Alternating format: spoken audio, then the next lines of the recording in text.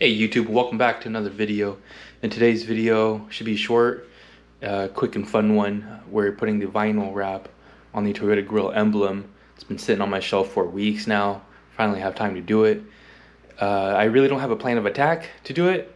I'm just gonna figure it out step by step and uh, you'll be seeing how it turns out. Here we go.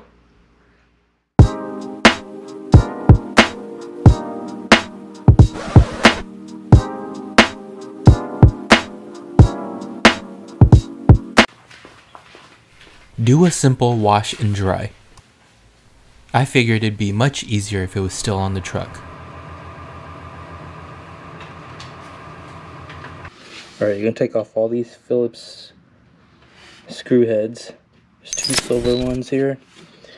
And there's two that are Phillips and uh, I think 10 mil. And then get the sensor off. Let's try that first.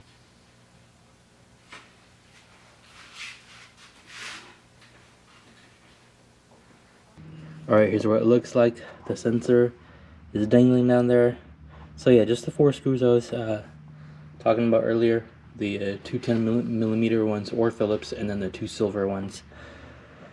So we're left with, left with this and we're just going to pray on the tabs at uh, all four corners and then hopefully this thing just pops out.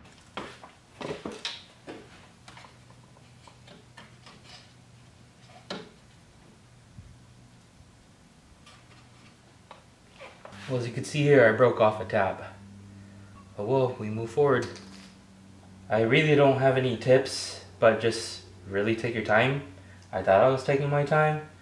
I Wasn't sure if I was pressing hard enough because it was, well, this first time this thing's been out, so it's, it's you know, it's not loose.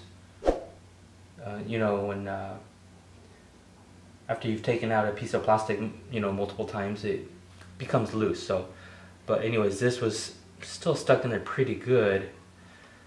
So, yeah, really just take your time. If it breaks, it breaks.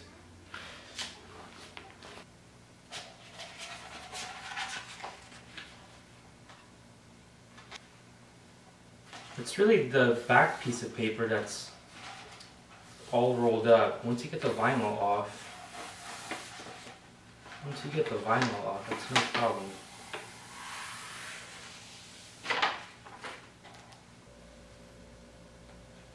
I'm just eyeing this.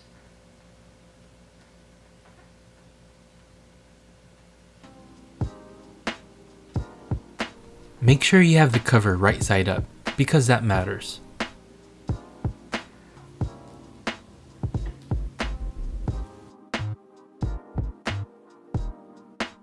In this stage, the focus is to get the vinyl as centered as possible. I really don't have any tips for this other than to keep checking your work and shifting the vinyl as needed.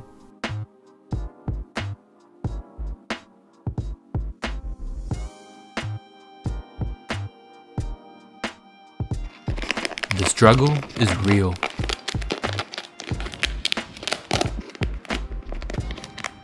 Once you are here, pull the vinyl out and down to get a smooth edge.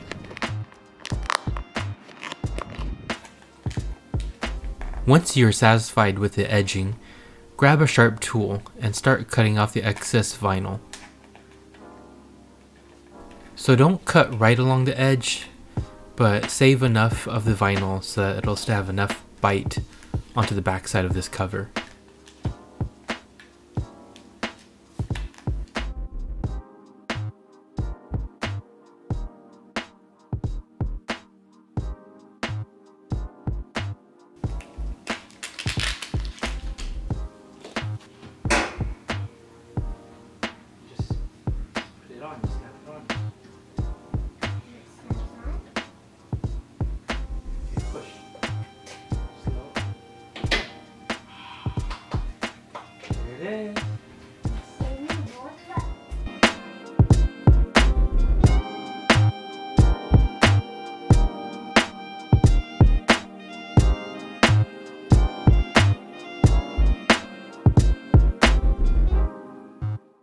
So this video concludes the front end vinyl uh, install a two-part series, I guess. One for the fairing and one for the grille um, emblem. I'm pretty happy with the way it turned out. It's not perfect, but um, I think other people see it. I think it'll look fine. But to me, it's not perfect because I the one I was the one that installed it. But anyways, um, pretty happy with it. Pretty stoked with it. I'm happy with the way it turned out. I didn't need a heat gun. Uh, ran into some bumps here and there. Broke off uh, a tab. You know. Um, oh yeah, I was gonna mention one thing.